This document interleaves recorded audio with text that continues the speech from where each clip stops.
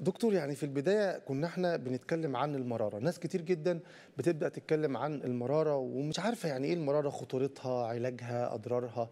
لو كلمة عامة في البداية عن موضوع المرارة. نعم.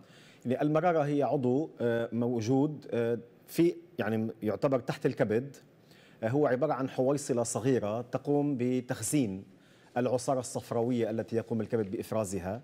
وتخزين هذه العصارة إلى حين أن يقوم المريض بتناول وجبة دسمة خاصة عندما تكون يعني غنية بالدهون نعم. عند ذلك تقوم المرارة بعصر ما قامت بتخزينه فجأة إلى الأمعاء عادة هي نحن نعلم تشريحيا بأن العصارة التي يقوم الكبد بإفرازها سواء مباشرة عبر القناة الجامعة أو عبر المرارة هي تنزل إلى الأمعاء الاثنى عشري إلى القسم الثاني من الأمعاء الاثنى عشري وتساهم فورا بعملية الأيض وعملية الهضم للمأكولات وخاصة المأكولات التي تكون كما أشرت منذ قليل غنية بالدهون نعم. وبالشحوم. يعني هذه هي الوظيفة الأساسية للمرارة. هي عمليا خزان. أي.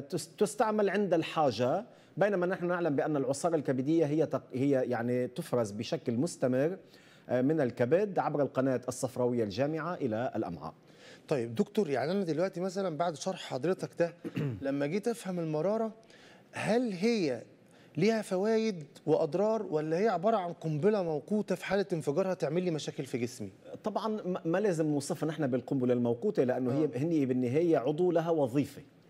وكما أشرت يعني أنه العصارة الكبدية عندما تقوم المرارة بتخزينها هي تقوم فقط ليس فقط بالتخزين إنما تقوم بالتخزين وبزيادة نسبة يعني ال ال ال الأنظمات والأشياء التي تساعد تساعد في عملية الهضم عند الضرورة نعم. لذلك هي هي لها وظيفة ووظيفتها مهمة جدا أما يعني نحن نعلم بأنه هي عادة المرارة قد تصاب ببعض الأمراض منها قد يكون التهابات منها قد يكون حصى ممكن منها قد يكون ورم سرطاني إلى آخره. يعني هناك أمراض عديدة للمرارة منها ما يكون كسل وظيفي مثلا.